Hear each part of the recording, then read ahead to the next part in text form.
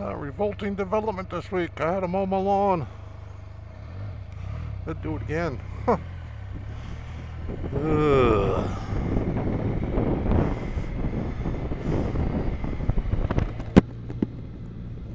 I prefer summer over winter, but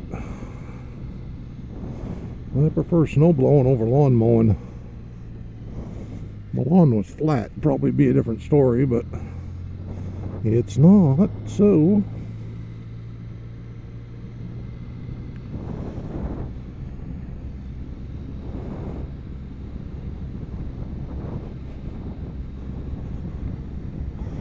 Yep, that dog still wants me. Whatever did to piss him off, but he just doesn't like me. Chilly out again today. Still technically tis the season.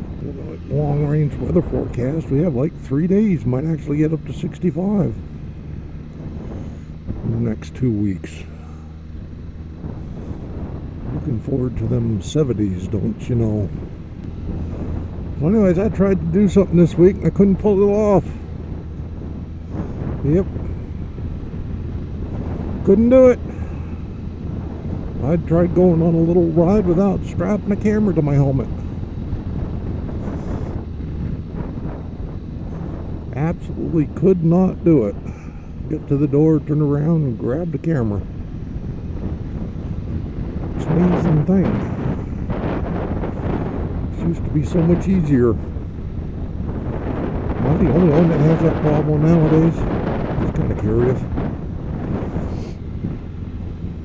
I'd like to think I'm not alone.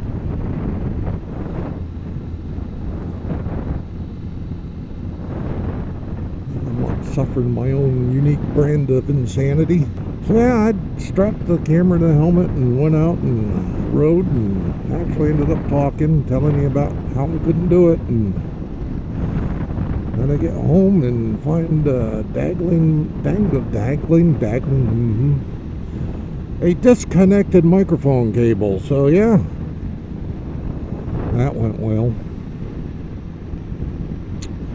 Not. But hey, at least I had a camera. See, I'm not right. I didn't have my still cameras with me. I was just riding down to meet some guys for lunch who turns out they weren't there. They're there every Friday. They weren't there this Friday.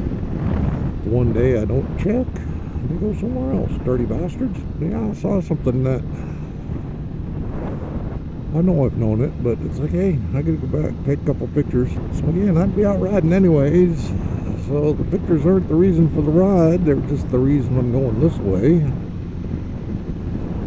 Once I get the pictures, I'll have to figure out what I'm going to do from there. It is still chilly out. Go ahead and break down and turn on the group warmer right away.